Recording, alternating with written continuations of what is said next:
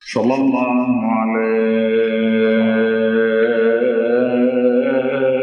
يا ابن رسول الله يا ليتنا كنا معكم سيدي فنفوز فوزا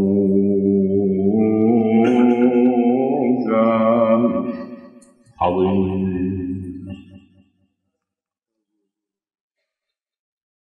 بسم الله الرحمن الرحيم. فما آمن لموسى إلا ذرية من قومه على خوف من فرعون وملئهم أن يفتنهم. وإن فرعون لعال في الأرض وإنه لمن المسرفين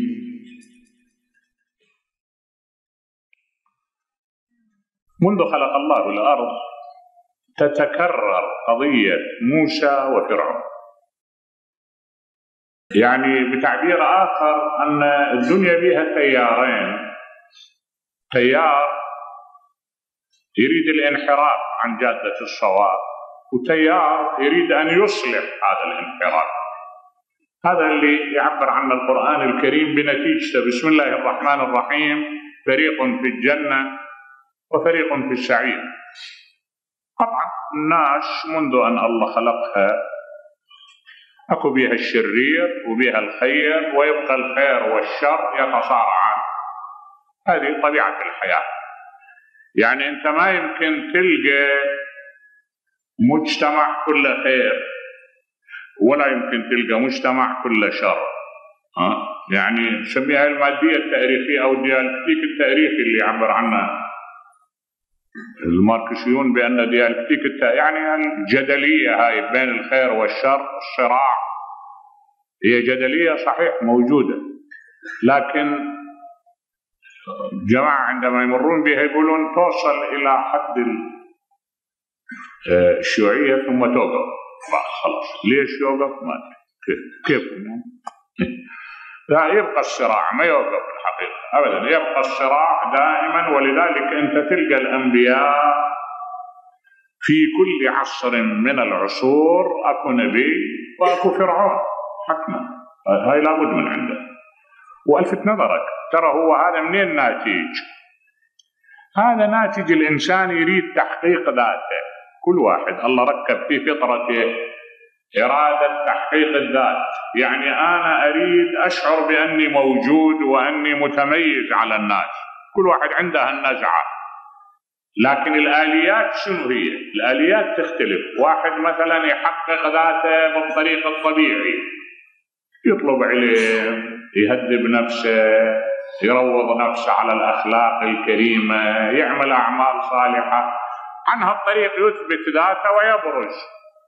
واحد لا ما يقدر على ذني إذا ما قدر على ذني أو انحرف عن ذني شو يسوي؟ يلتجئ إلى طريق الإجرام. ها يتحول إلى مجرم حتى يجبر الناس على الاعتراف فيه. ها؟ ولذلك تلقى الطغيان هو عبارة عن تعبير مفرط عن حب الذات. ها؟ اذهب إلى فرعون إنه طغى والطغيان لابد من تعديله. إذا منذ خلق الله عز وجل الأرض لابد وأن يكون بها التيارين يتصارعان تيار الخير وتيار الشر. وسيرتبط بموضوعنا هذا إن شاء الله الليلة. زين. خلينا نشوف أولا مضامين الآية. شنو؟ الآية أولا بها مقدمات ثم تنتهي إلى نتيجة نحتاجها إلى توظيفها في موضوعنا. المقدمات أولا فما آمن لموسى إلا ذرية من قومه. شنو يعني؟ خلي ألقي لك شوية آه نظرة على الحادث على الواقع التاريخي حتى تعرف المعنى. كأنه بني إسرائيل لما طلعوا وراحوا إلى مصر إيش كثر كان عددهم؟ كان عددهم قليل جدا يعني 63 أو 64 نشم ذول اللي راحوا إلى مصر.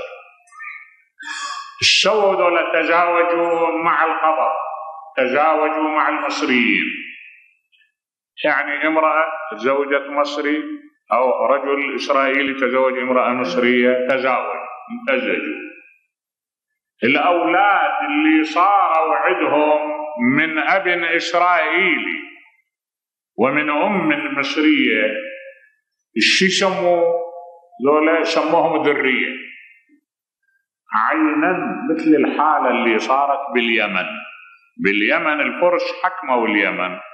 لما حكموا اليمن تزاوجوا مع أهل اليمن. فالولد اللي ينولد من أم يمانية وأبو فارسي سموا الأبناء. بالي معروفين الأبناء بالتاريخ. باليمن الأبناء. يعني فرد شريحة كبيرة يعبرون عنهم الأبناء. هذول يعبرون عنهم الذرية. نبه لي شوية فهذول آبائهم كانوا من بني إسرائيل. وأمهاتهم من القبر. هذول هم أول من آمن لموسى. موسى عليه السلام لما أعلن نهضته وإجا إلى مصر أراد الإصلاح أراد أن ينشر رسالته هناك ما حد آمن به إلا دولة مبدئيا. مبدئيا دولة وبعد ذلك كم لحقوا الباقي. ليش؟ تنبه للنقطة هذا الموضوع تكمن بنظريات شوية مهمة. أولا ما آمن الواقع معه إلا ذرية. هذول الذرية إنما آمنوا بي ليش؟ آمنوا بي لأن آبائهم نعم من جماعته. نبه لي من قومه. ها؟ إذا إيش نفتهم من هنا؟ نفتهم أن العامل القومي يلعب دورة. العامل القومي يلعب دورة في تحريك الشعوب. ها؟ ولذلك الله عز وجل أرسل الأنبياء منين؟ من كل بلد من أهله. أرسل نبي ما يجيب لنا نبي من الخارج. ليش؟ لأن إذا نبأ نبيا من الخارج يتحرك الحس القومي بالداخل. إذا تحرك الحس القومي يقول هذا شنو هذا؟ مو من عندنا. شنو جاي هذا؟ ها؟ هذا أجنبي عنا جايب لنا لكن هو الذي بعث في الأميين رسولا منهم. ليش منهم؟ لهالغرض لأن العامل القومي يلعب دورا. أنا أنتمي إلى قومية معينة. وهذه القومية المعينة أحتاج أن تكون هي أعلى القومية. أحتاج أن تكون مميزة. أحتاج أن أنشد بها دول أعبر عنهم دمي ولحمي. زين يعني هل أن الدين يعارض هذا المعنى؟ الآن لو نريد نرجع نستفتي الدين. نقول له أن اللجوء إلى القومية عيب حرام منافي أو لا. مرة أريد ألجأ للقومية في موضوع بصراع بين القومية وبين الدين. نبه. يعني أكو قضية إذا شوية غلبت العامل القومي راح أخالف الدين. لا في مثل هالحالة الدين أهم لأنه القومية دم ومشاعر ها؟ ومصالح. والدين لا حقائق. والحقائق تقدم على غيرها ابدا. إذا تعارض الدين ها؟ مع القومية لا تنسحق القومية. ولذلك إحنا نلاحظ لما اجى الإسلام الصحابة رضوان الله عليهم كانوا يقتلون ابائهم وأبنائهم وعشائرهم من أجل العقيدة ها؟ يعني كان ما العامل القومي ما يلعب عندهم دور. بالدرجة الأولى شو يقدم؟ يقدم عامل العقيدة لأن العقيدة أثمن وأغلى وأهم. هاي من هالناحية؟ مرة لا والله. قضية قومية ما تتعارض مع الدين. أنا أريد أعتز بقوميتي. هذه ما ما بها اي باس شو يقول الإمام الصادق؟ سلام الله عليه. كتبت لي الكلمة. الإمام الصادق يقول ليس. ليس من الشر أن تحب قومك ولكن من الشر أن تجعل شرار قومك خيرا من خيار غيرهم. نبه لي شلون؟ يقول أنت تعتز بقوميتك انك بالعشيرة اللي تنتمي اليها جنس اللي تنتمي إلى تعتز مثلا بأنك أفرض من الجنسية الفلانية ها؟ اعتزازك بها مرة اعتزاز آه، إيجابي. يعني أحترم اسرتي ودمي وعرقي اللي أنتمي له أحترمه. كل باس ما بي هذا ها؟ هذا مو عيب ولا محرم ولا شر.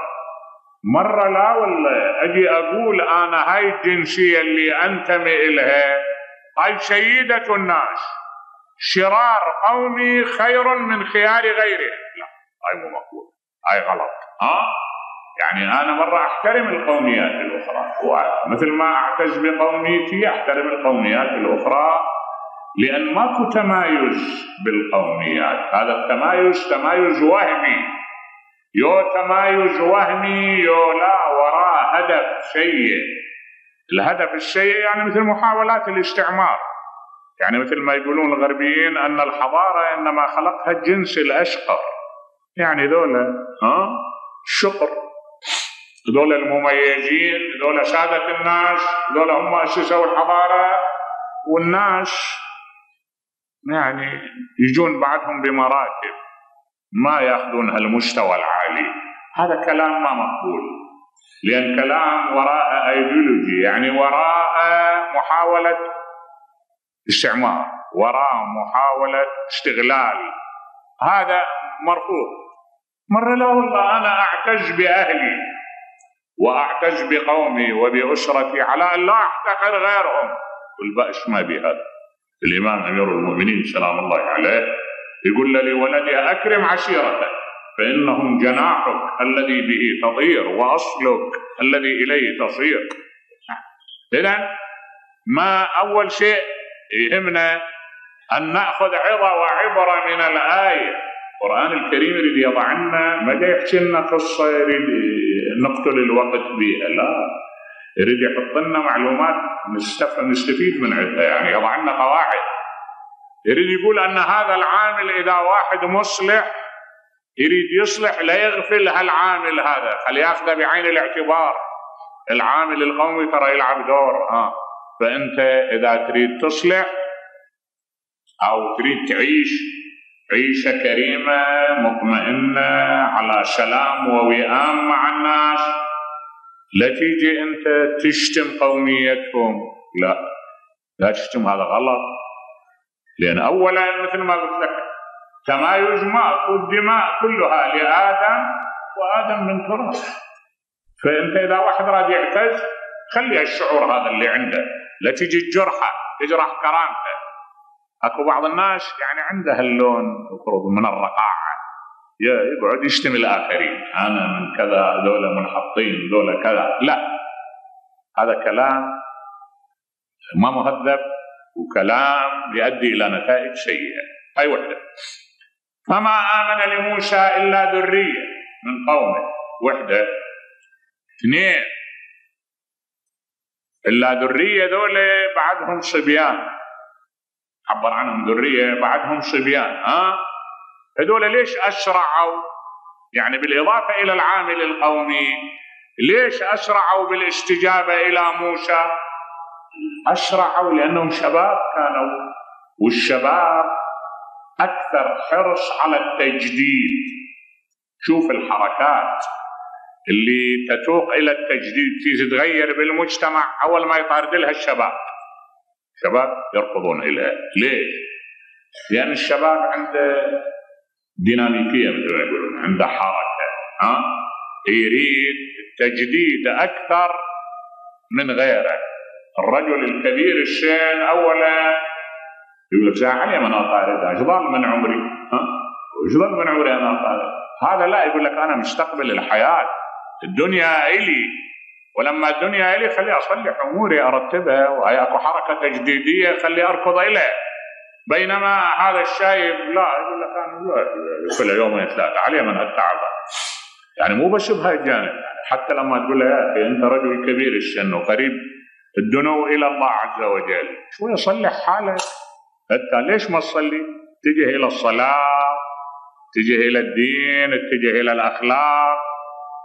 يقول أنا إيش من عمري بعد. كله أنا قضيته مخربط بس أنا أجي اصلحها بالتالي. ليش؟ والله لحظة. يتامل لحظة اذا ظلت من عمرك وتتوب إلى الله عز وجل. هي هاي هاي اللحظة تنقذك من البلاء. نعم. في المسألة إذا إنما اسرعوا ذولا لأن الشاب اسرع إلى حركات التجديد. هاي وحدة؟ أو اثنين؟ ثلاثة هذول بعدهم شباب ما تجذرت مصالحهم في صميم المجتمع. شلون يعني؟ مو هذا لما بعد استوى صار ناشئ. ما عنده معاملات عميقة ومتجذرة متشعبة بالمجتمع. يعني علاقات تجارية علاقات اجتماعية علاقات ثقافية مثلا بعد بعد أول حياته ما عنده تجذر بالمصالح وخصوصا المصالح المادية. بعد بعكس هذا اللي عنده تجارة وعنده أموال وعنده زراعة وعنده صناعة. هذاك يطارد للحركات الإصلاحية الشاب لأن بعد ما متجذر. لكن هذا يقول لك أنا أخاف مش مدريني قد يكون هذا التحرك هاي الحركة راح تخليني أفقد الأشياء اللي عندي.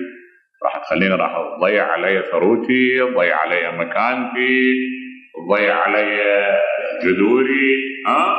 يخاف يقدم رجل ويأخر أخرى. وإحنا نقول رأس المال جبان ها؟ فعلا رأس المال جبان. خاف تريد له مكان آمن. هذول بعدهم ما متجذرين بالمجتمع. ماكو عندهم مصالح. ولهذا انت تلاحظ أن الإسلام وإن كان أكد على الجميع لكنه أكد على الشباب بصورة خاصة. وسيأتينا هذا المعنى إن شاء الله بالليالي الآتية إن شاء الله. زين؟ إذا آه الجانب هذا يعني ذولا إنما أسرعوا إلى الإيمان. أسرعوا إلى الإيمان لأن بعد مصالحهم مو متجذرة. زين أربعة شوي تنبه لي والله لهالنقطة هاي. هذول إنما رأسا استجابوا إلى موسى. ليش؟ رأسا استجابوا عن طريق أمهاتهم تأثير الأمهات. لأن هذا الولد لما ينولد من أم ولاء يصير علما مشدود. مشدود إلى أمه وإلى أخواله. أخواله يأثرون عليه تأثير كبير. مش نقول إحنا مثلا العامي ونقول ثلثين الولد من خالة؟ ها؟ من خالة. يأثر عليه ليش؟ يأثر عليه بمصالحه يأثر عليه باتجاهاته العامة يأثر عليه حتى بمصلحة قومية أمة. أيضا تلعب دور لهذا إحنا آه نحذر من الزواج بالأجنبيات. نبه لي شوي. يعني هذا اللي يجي طارد مو وراح هذا الألماني طارد وراح هذا انجليزي تقول له تعال هنا أنت شنو المبرر؟ يعني عندك كم فلس هاي بس. الشتى ما تعرف أن هاي بعد يومين إيش راح تصير أنت مو هاي هاي ما عندها مانع أنها نص عاريه وتعانق واحد أنت غيرتك وينها؟ لك أخلاقك وينها؟ دينك وينه؟ قوميتك وينها؟ هاي نقطة بعدين أنت مأمن أن هاي أبنائها راح يكونون مشدودين إلى أهلها ودول أهلها قد يكون ما تلتقي مصلحتهم مع مصلحتك مصلحة بلدك. ها؟ هذا بلدك اللي أنت تربتك هاي تربتك أمك هاي الأرض اللي أنت بيها هاي أمك هاي. منها تنخلق ومنها تأكل وبيها تنام بعدين ها؟ كلها هذه هاي الأم هذا حضن الأم. طيب أنت إذا إجيت ضحيت بهذا عرضتها للخطر. خليت الولاء يصير علما الولاء يصير للخارج مو لمصلحة بلدك. لا ينبغي أن تأخذ بعين الاعتبار مصلحة البلد لأن هذا الزواج من الأمهات الأجنبية راح يؤدي إلى النتيجة هذه راح يؤدي إلى النتائج. ومن ناحية من ناحية ثانية لا تنسى أنت الله عز وجل في كل مكان سوى أكو يعني توازن توازن بين الذكور والأناث. إيه طيب وهذا بلدك وذني بناتك وأهلك وأخواتك وبنات عمك وبنات وطنك. انت إذا صار البناء اركضت وطاردت لمجرد وجود بريق في الخارج ما تحسب حساب هاي بنت البلد شنو مصيرها؟ وين راح تروح؟ ها؟ قد واحد يقول لك شنو أنا مبتلي ادب على قلبي من هذول؟ ما يخالف ما صحيح ادب على قلبك. لكن مو أنت من نفس الجنس أنت مو جاي من المريخ ها؟ إيش دعوة يعني؟ صار عندك مبرر عندك كم فلس هي لا يا لا. لا المفروض أنك أنت تأخذ بعين الاعتبار أن هؤلاء أهلك. بعدين أخذ بعين الاعتبار العادات والتقاليد والقيم الآن من شعب إلى شعب تختلف القيم والتقاليد والعادات. أنت فكر أن هاي المرأة إذا انتقلت إلى البيت راح يصير بينك وبينها انسجام. يوم ما يصير انسجام بين ما بيناتكم وينتهي الأمر إلى عراك وإلى صراع. والضحية منهم؟ الأولاد؟ ها؟ طلعت هذه. طلعت إلى الخارج وتركت الأولاد. ورحت خصوصا وإحنا عندنا عوامل عندنا عوامل. يعني ما أنا مضطر أحط اصبعي على الجنب والله يعلم إنما أحشيها أحشيها يعني غيرة على مجتمع المسلمين. شاب عندنا متزوج من المغرب. طيب. ذاك اليوم يودوا لي فاكس من بلده. هذا لما تزوج من بعد تسع سنوات جلس أروح أشوف أهلي. راحت هناك حصد. دخلت إلى القاضي اللي عندهم. القاضي كتب إلى القاضي مال بلدك هذا أنه طلقها هذا. هم فورا طلقها ليش؟ قال الكفاءة مفقودة. ليش كفاءة مفقودة؟ قال هذا شيعي. ها؟ وهذه مسلمة. ها؟ ما يصير الشيعي يتزوج المسلمة تفهم شو أقول له؟ ها؟ النمونة موجودة يعني. هذا أنت ما تعتب عليه تعتب على النظام اللي يخليه ولا هذا مو مال كلام هذا. ها؟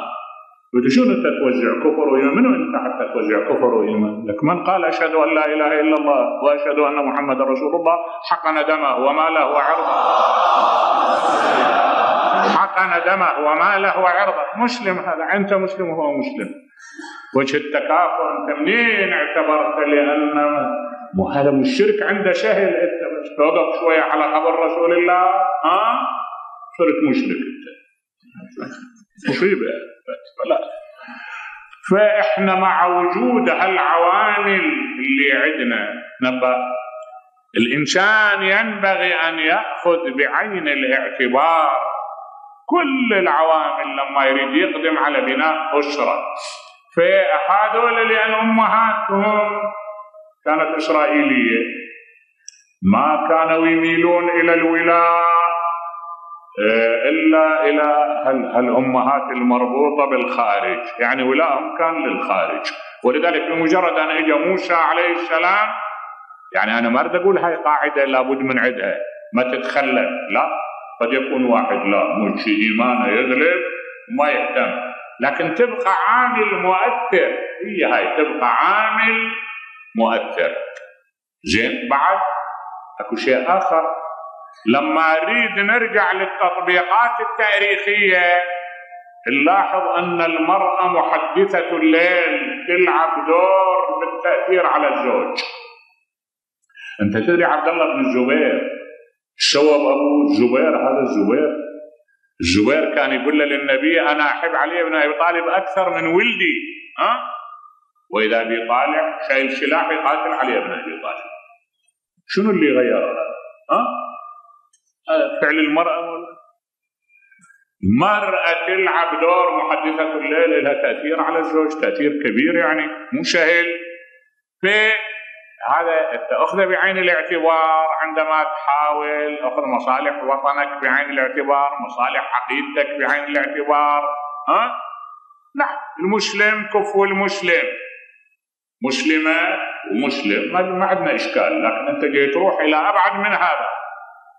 فالراحة إلى أبعد من هذا لا خطرة جدا خطرة. يلا أرجع إلى الآية. نبأ فما آمن لموسى إلا ذرية من قومه. على خوف من فرعون وملئهم أن يفتنهم. نبه لي والله شوي النقطة. شنو على خوف من فرعون وملئهم؟ هذول لما آمنوا والتحقوا آمنوا وهم نفوسهم مو مطمئنة. خايفين. خايفين منين؟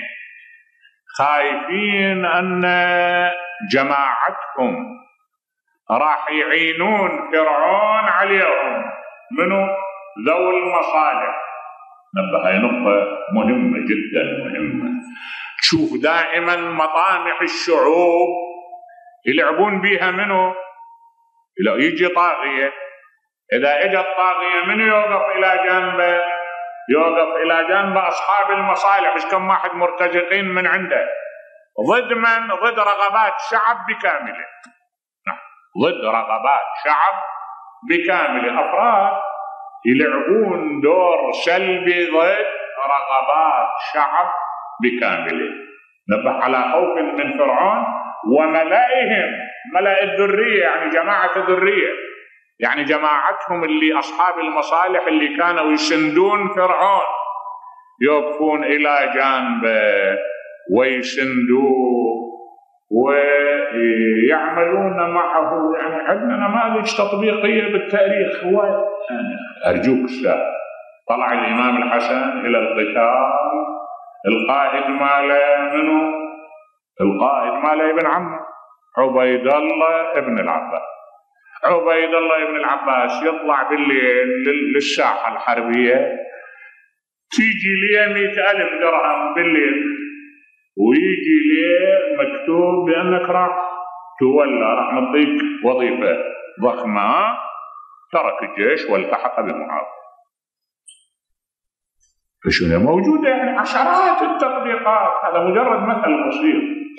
عشرات التطبيقات من أجل مصلحة فرد يسحق على مصلحة أمة بكاملها هذول على خوف آمنوا على خوف من فرعون وملئهم نبأ. شلون أن يفتنهم شنو هي الفتنة؟ نبأ. المفسرين شو يقولون؟ يقولون كانوا يستعملون وياهم طريقتين ها؟ يومهم على النار يفتنون مرة يعرضوهم إلى نار. يجيبوه مثل ما سوت قريش ويا خباب ابن العرق. خباب ابن العرق رضوان الله عليه ومجموعة من الصحابة رضوان الله عليهم دول الرواد الأوائل ها؟ إيش كان سوى لهم قريش؟ كانوا يجيبوه يشيلون ظهره عن مستوى الأرض ويوقدون النار تحت ظهره حتى يطفأ ودك ظهره لهب النار. نبه لي. يقولوا له قل أشهد أن اللات والعزى حق. وهو يقول فرد أحد لم يلد ولم يولد. شيء؟ وهنا المفارقة هنا أن الإيمان ما اضطرد القوة. الإيمان ما تقدر عليه القوة. الفكر ليس بغير فكر يقرع ما ممكن أنت الفكر الطرد بالقوة. أبدا. الفكر كلما تضغط عليه أكثر يتجذر أكثر يشتد أكثر. فالإيمان يتعمق أكثر. هذول كان أولا يعرضوهم إلى النار. يجيبوه يحطوه أمام النار ويعرضوه إلى النار إلى أن يتلاشى تتهاوى مناعته. يعرضوه إلى العذاب. هذا أسلوب. والأسلوب الثاني شنو؟ والله ما أشتهي أذكره لكن فوق مضطر حقيقة تاريخية كانوا يعرضوهم إلى عمل فاضح. يعرضوهم إلى عمل فاضح إلى الاعتداء عليهم جنسيا. هذا اللي اقتبسته. اقتبسوا بعض العباقرة المعاصرين واقتبسته بعض ال... بعض الشعوب المعاصرة هذا البلاء ها؟ أن لهالبلد تعرض للشعوب يتعرضون للطيبين حملة الفكر سجناء الرأي حملة العقيدة ها؟ هؤلاء يتعرضون إلى هذا اللون من العقوبة. هذول كانوا كثير من عندهم ينهار أمام هذا العقاب لأن عقاب هذا أكثر من القتل. أكثر من القتل. يعني الإنسان يهون عليه أن يقتل. يقتل بعد وما يشعر بها بهالفضيحة لكن إذا عرض إلى هذا اللون ذل نعم ذل. ولذلك إحنا عندنا اللي يمارس هالعمل يحرق بالنار. هؤلاء اللي يقومون بعمل اللواط هؤلاء هذا عقابة أن يحرق بنار أو يرمى من جدار أو يضرب بسيف ها؟ يقطع عنه لأن هذا عضو أشل هذا فرد عضو موضوع عضو آه فاسد لابد من قطعه ها في هالمعنى دول خايفين من فرعون ومن ملائهم دول اللي يعاونوه جماعتهم أن يفتنهم يفتنهم يعني يعرضهم إلى الاختبار والإختبار الصعب ومو سهل. يعني لا تتصور أن كل الناس تقدر تصمد الإنسان. شنو دم ولحم؟ أعصاب الإنسان. ينهار. ينهار. تماما ينهار. ها؟ إيه العقيدة ما تكافح بهذا أبدا. العقيدة شوف الجماعة اللي عندهم أفق واسع واللي يفهمون معنى الحرية. شوف شنو موقفهم ازاء العقيدة. طلع علي بن أبي طالب من مسجد الكوفة لقى واحد واقف له بالباب. قال له أنا لا أصلي معك بجمعة ولا جماعة ولا أخرج معك إلى قتال ولا أناصرك بحرب أو سلم ابدا. قال له الإمام وأنا لا أهيجك بأذى ما دام المسلمون منك في أمان. شو التفت لي؟ نبه يقول له إذا أنت بالمجتمع عضو مأمون ما ضر الناس ما أهيجك أنا بأي أذى. ابدا. أنت حر. تحبني ما تحبني تطلع وياي ما تطلع وياي. شو تتنبه لهالصوره وشوف الصورة اللي يرسمها عبد الملك بن مروان. عبد الملك بن مروان وقف ورا ورا المنبر أول ما بويع. قال نحن بنو أمية. من قال برأسه هكذا قلنا له بسيوفنا هكذا. أه؟ شوف الفرق بين الصورتين لكن مع الأسف تاريخنا تعال يشوفه يحب اثنينهم سوا أه؟ كل واحد. شلون ما ادري شلون كل واحد؟ هذا ما أدري. هذا الحكي. إيه، هذا خليفة وهذا خليفة. فترجع مبادئ الإسلام. اللي تعنى بالحريه وتغذيتها واحترامها واحترام الإنسان في موقفه. هذا موقفه. فالآية الكريمة ترسم لنا هالمعنى. على خوف من فرعون وملائهم ان يفتنهم أن يرجعهم عن عقيدتهم. ذولا كانوا خايفين كانوا مضطربين. إيش كان يسوي هذا؟ والله تنبه لي. من جملة الأشياء اللي سواها فرعون وملاهم كان يعرض ذولا الإسرائيليين إلى الأعمال الشاقة. يعني عمل بالشمس ونقل حجارة وعمل قاتل شاق يعطيه لهم. الأعمال المترفة الهادئة يعطيها للقبر. ها؟ يعطيها لجماعته يظلون هذول يلهطون بالأرض بالبناء بالتعب دول على دول. لكن الأعمال المترفة والرتب والنياشين المن للقضاء. إلى أن تولدت عندهم عقده ضد الإنسانية. مع الأسف المن ذبوها لهالعقده وين؟ ذبوها بروسنا إحنا إحنا الآن. سلطوا علينا الآن بنو إسرائيل. نبأ؟ شايف إيش يسوون بني إسرائيل الآن؟ جاي يعملون؟ هؤلاء مولانا دبوا حقدهم وين؟ عملية تفريغهم صارت على رؤوس المسلمين. يعني أنت ملاحظ الآن إذا تتابع جاي يسوون اليهود ها؟ ملاحظ الحقد هذا؟ والعالم من وراءهم جاي, تدعمهم؟ يطلبون الفلسطينيين حمايه حماية من الأمم المتحدة. نعم. فترفض. ليش؟ الحقد شوف هذا اللي بينصب برؤوس هالمساء الشباب الاسر هاي يعني النتيجة وإحنا بطرق الشعارات. ماكو عندنا مو؟ هذه رحاب القدس. منذ تصن... منذ ترنحت صرعة إلى جعقاتنا تتشمر تصحو على نوء فتتلع جيدها. وتراه من خدع السحاب فتهطع عشرون كفا حرة. ما أوقفت مهوى يد مغلولة إذ تصفح. ها؟ كنا نهب على الزعيق ومضطرا صرنا ننام على الزعيق ونهجع. الله وكيلك يعني الفضل لهالحجارة هاي مال الصبيان. هاي لازم مدافعنا تخجل من هالحجارة. هاي فالواقع هذول شنو اللي تعرضوا إليه؟ ظلت عندهم العقدة إحنا اللي اقتنعنا والله لفت نظري قبل كم يوم واحد حاخام هذا بالولايات المتحدة جابوه قابلوه. قالوا له شنو رأيك فيما يجري؟ قال والله هذا عين الظلم. هاي الأرض أرض الفلسطينيين لأنها للكنعانيين لهم هاي أرضهم الحقيقية. وذول ضيوف نزلاء. ما ينبغي هالمعنى هذا يصير وهزتني أنا والله الكلمة. زين. هذا رجل قدر يطلع من هالغطر قدر يتخرج وهو حاقا نعم. وقال لا هذا كله اعتداء. بس قصدي شوف العقدة التاريخية اللي صارت عند هؤلاء. هاي العقدة أدت بالنتيجة إلى أن ينصب البلاء على رؤوسنا.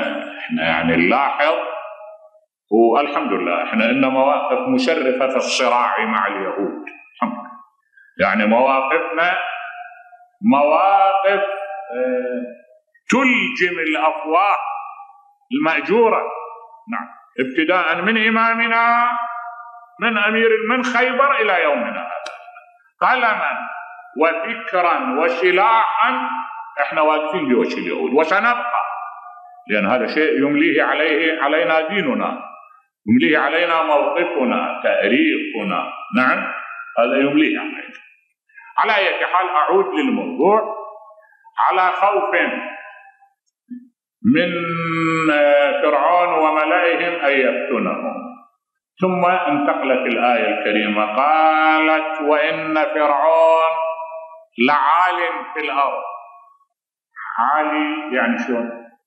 هو فعلا كان عالي في الأرض؟ يو لا. قد علو مفتعل. طبعا علو مفتعل. نشوف المؤرخين شو يقولون عن فرعون؟ يقولون هذا فرعون كان من أخش العبيد. فرعون كان من أخش العبيد. لكن وصل إلى الحكم. لما وصل إلى الحكم قام يعوض.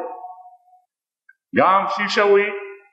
يعوض. هذا النقص اللي عنده بدأ يعوضه. بيش يعوضه؟ يعوضه بالطغيان. بالاعتداء لأن ما في شك أن هذا الإنسان إذا كان حقير وينتهي بالأمر إلى أن يمسك زمام آمر هذا ينتقم من الناس انتقام مروع. نعم وهذا اللي صار. هذا اللي صار فرعون كان من أخس العبيد. ولكن لما وصل للحكم يقول لموسى لئن اتخذت الها غيري لأجعلنك من المسجونين. أنا إله. لن تعاملني معاملة إله. ها؟ تتأمل هذا الإنسان اللي يجي يجي إلى الأمر إيه، وهو من من وسط مثلا ما يلوق لهذا المعنى. إيه، يعوض التعويض هذا المفرد. وإنه لمن المشرفين. مو بس عالي بالأرض لا مشرف. بيش مشرف بالتعذيب بالاعتداء ها؟ ولقد أنجيناكم من آل فرعون يشومونكم سوء العذاب يذبحون أبناءكم ويستحيون نساءكم وفي ذلكم بلاء من ربكم عظيم. من بعد هالمقدمة عرفت أن هالمقدمات ننتهي إلى النتيجة. شنو هي النتيجة؟ النتيجة أن هالصراع اللي رسمته سوء الآية. والآليات اللي استعملت هذه قلنا ظاهرة طبيعية في الأرض. هذه هي اللي دفعت إلى تحرك الحسين. عين الوقوف بوجه فرعون. ها؟ الحسين يعني إحنا نتساءل لما افرض تحرك وأرسل إلى أول قطر يعتمد عليه وهو الكوفة. ها؟ ارسل لها مسلم سلام الله عليه. زين. ليش؟ باي دافع؟ شنو؟ دافع اولا الحسين راد يختبر الساحه الساحة أكو عندها استعداد للتضحية؟ لو ما عندها استعداد للتضحية. ترى ما ودا يقاتل لمسلم. شو تنبه لي زين؟ مسلم استبقته الأحداث واضطرته إلى أن يخرج وإلا هو راح. وظيفته مهمته أن يختبر الساحة مو أكثر اختبر لي الساحة خذ البيعة وانتظر. وإلا مو مسألة قتال. القتال اضطر تحول الأمر إلى دفاع واضطر مسلم أن يدافع. وإلا ما ما مبعوث مبدئيا للقتال. زين؟ وألفت نظرك لنقطة أخرى. ترى الكوفة مستهدفة. الكوفة اولا مدينة نشأت على أنقاض عاقولة. عاقولة مدينة شريانية. الكوفة نشأت على أنقاض سنة 17 من الهجرة. شوف انت قبل هالتاريخ تاريخ لما يمر بالكوفة. يوصف الكوفة بغدر يوصفها مثلا بخيانة يحمل عليها. أبدا ماكو من هذا شيء. شو وقت بدأت الحملة؟ من انتقل الإمام علي بن أبي طالب إليها. من انتقل إليها شنو اللي صار؟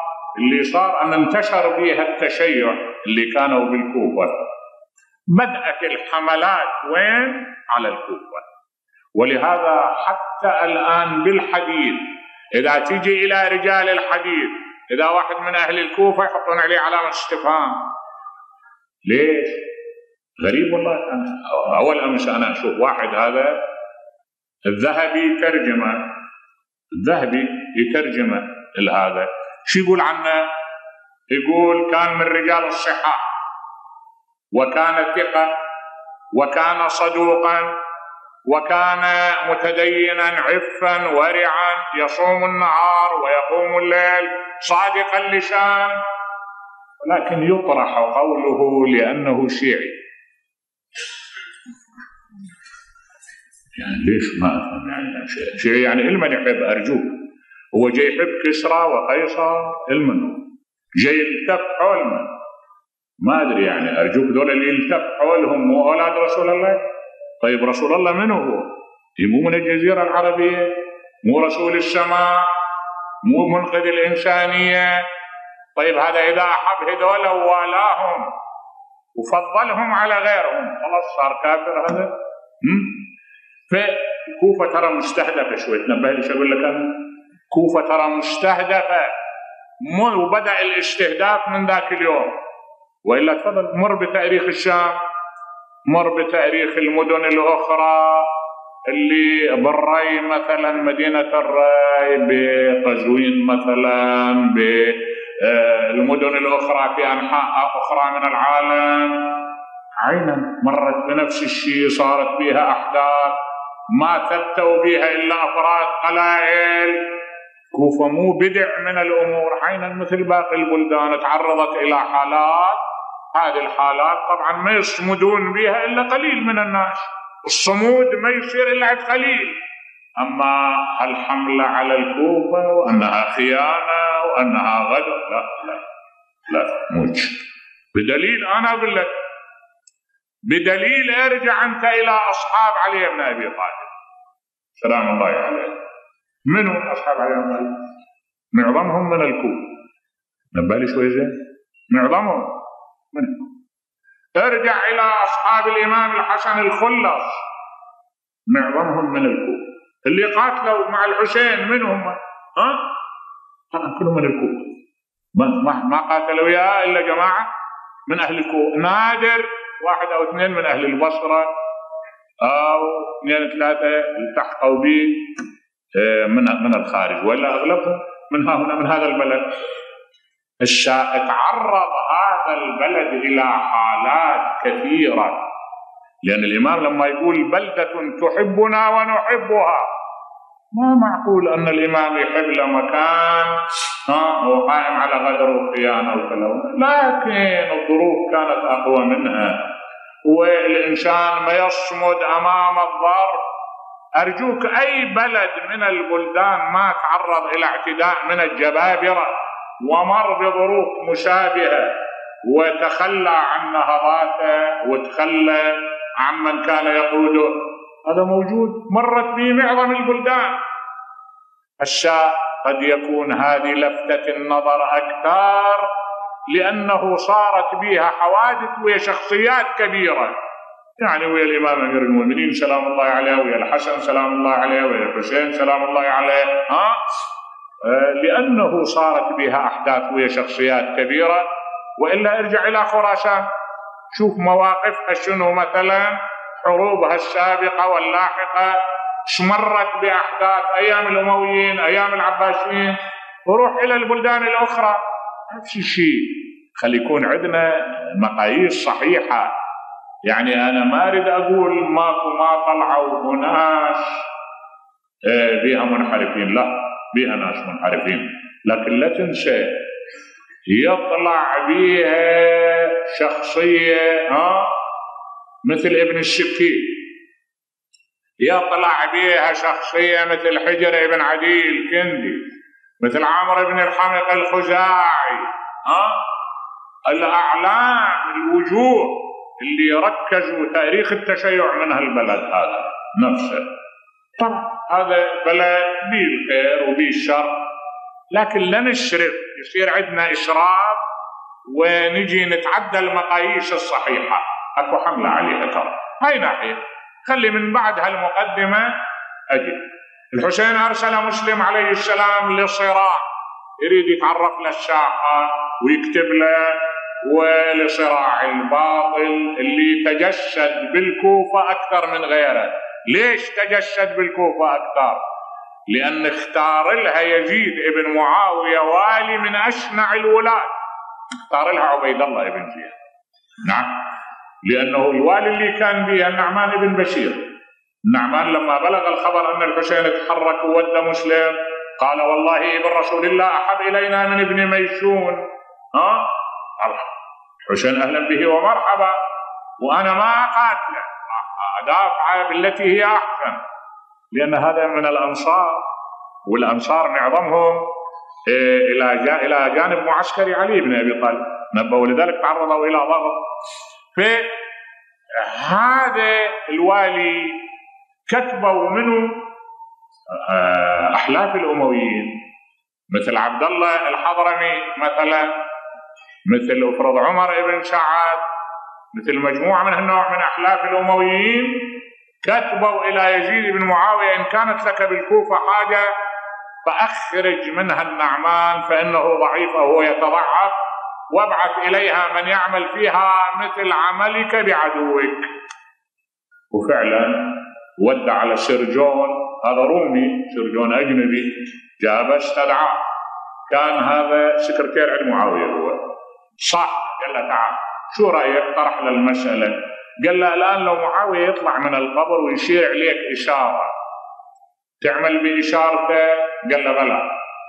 قال له معاوية الآن لو يقعد من قبره يقول لك عين عبيد الله بن زياد. غير الموقف ماله. فعلا. كتب لعبيد الله بن زياد آه أنه سر إلى الكوفة حين تقرأ كتابي هذا حتى تلقط مسلم ابن عقيل نعم.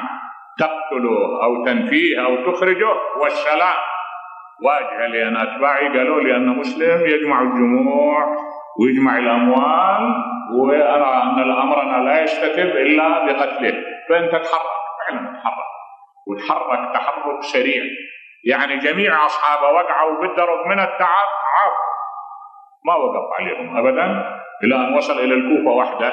لبس لاعتجر بعمة سوداء ولبس ملابس تشبه بالحسين وكان كل ما يمر على جماعة يسلم عليهم. يقولوا له عليك السلام يا ابن رسول الله قدمت خير مقدم يتصوروا أن الحسين إلى أن إجا إلى قصر الإمارة. تدلى له النعمان من شرفات القصر. تصور أن الحسين قال له يا ابن رسول الله أنا لا أقاتلك ولا أسلمك أمانتي. قال افتح لا فتح فقد طال ليله. سمعها رجل من ورائه قال ابن مرجان ورب الكعبة.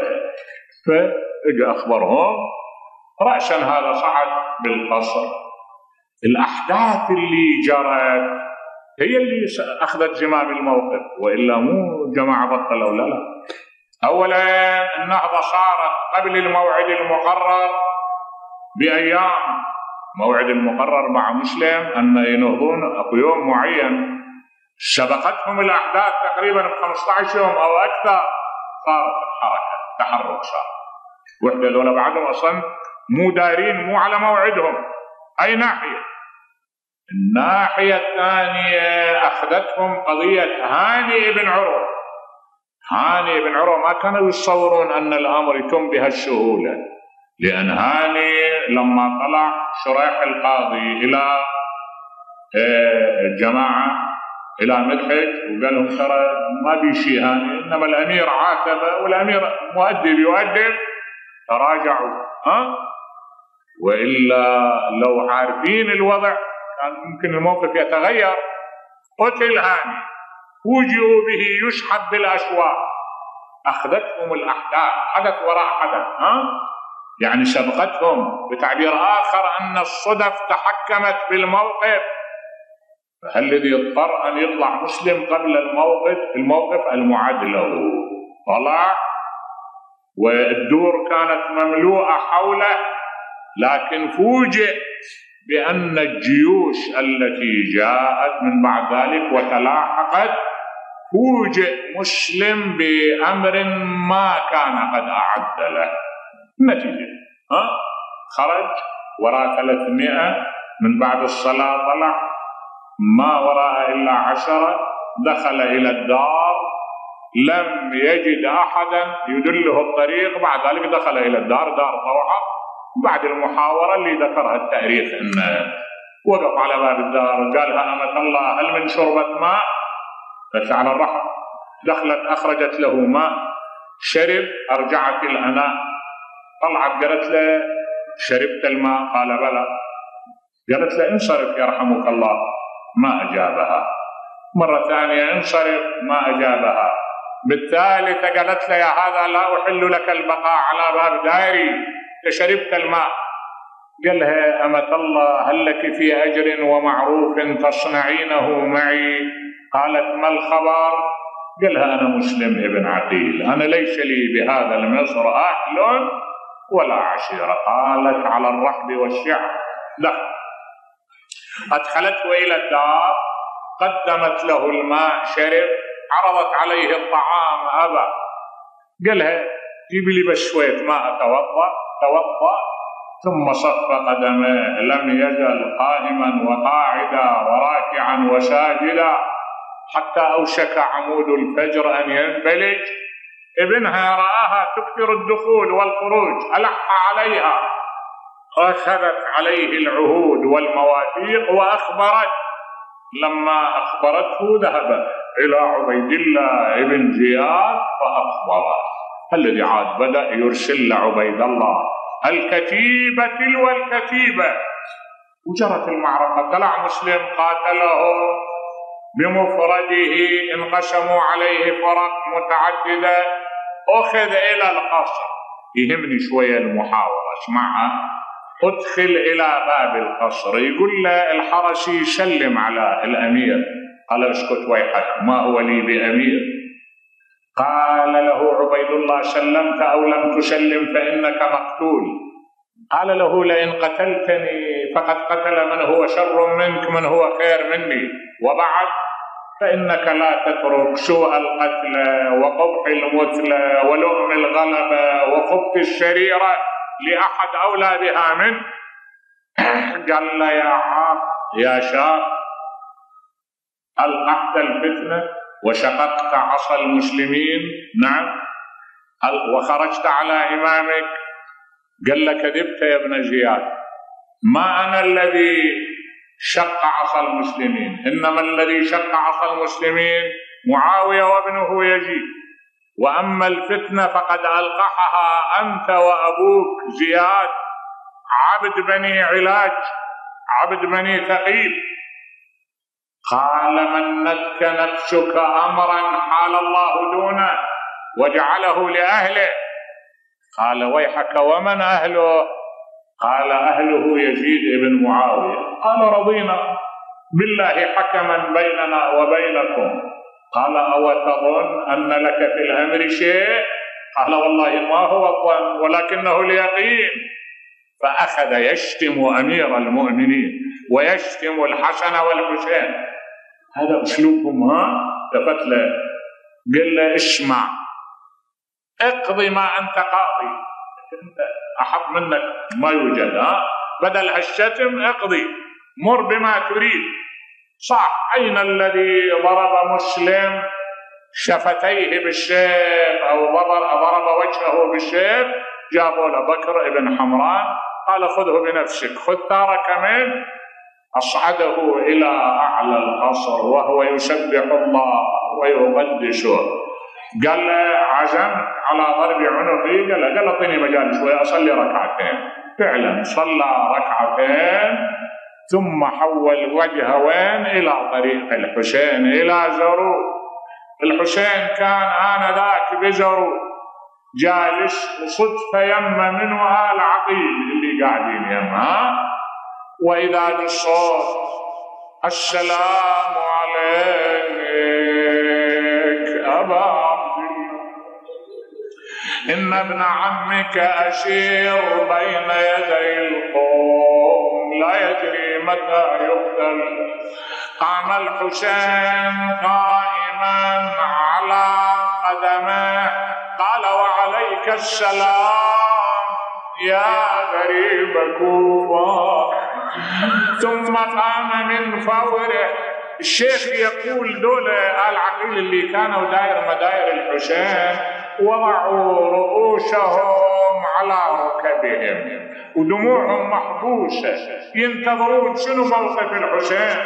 نظروا إلى الحسين وضع رأسه بين ركبته وانتحب باكيا عند ذلك على نحيبهم.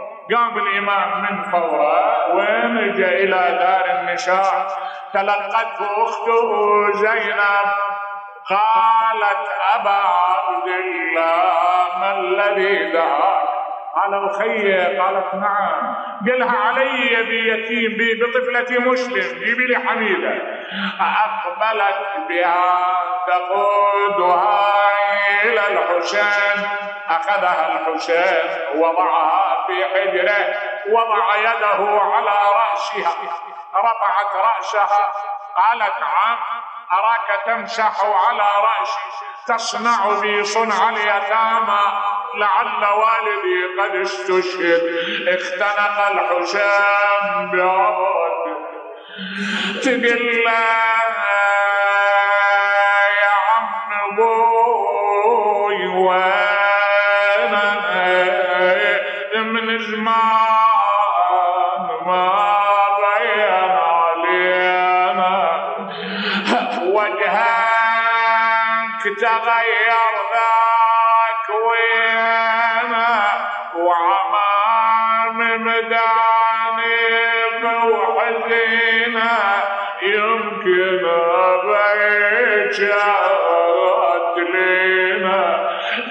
الحسين بني أنا أبوك بناتي أخواتك. قالت عام أنت خير من أضلت الخبر وأقلت الغبرة ولكن يا ما أحلى البنت إذا نادى أبوها باسمها. قال الحسين خذيها عني لقد أحرقت قلبي. بينما هي كذلك. أقبلت إليها طفلة للحسين تداعبها. قال لها لا بني دعيها لك يوم أعظم من يومها وهو اليوم الذي وقعت فيه على صدر أبيها. وأقبل إليها شمر جعل يلوعها. بشرطه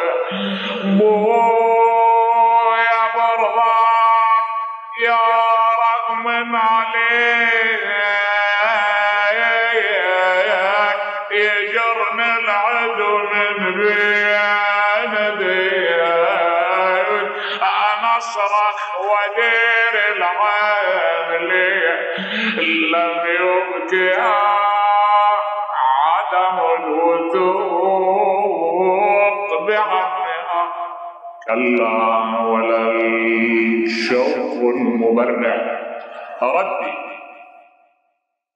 نسألك وندعوك ونتوجه إليك بجلال وجهك وبرحمتك التي وسعت كل شيء وبكلماتك التامات. فرج عنا وعن أهلنا يا رب. اللهم لا تدع لنا ذنبا إلا غفرته. ولا هما إلا كشفته ولا مرضا إلا شفيته ولا غائبا إلا أدنيته وارجعته ولا حاجة من حوائج الدنيا والآخرة لك فيها رضا ولنا فيها صلاح إلا قضيتها ويسرتها. اللهم اجعلنا ممن يأخذ بحجة محمد وآل محمد اللهم تقبل منا وارحمنا. المؤسسون تقبل عملهم ولأماتهم مع أمات الجالسين والمسلمين. بلغ اللهم الجميع ثواب الفاتحة.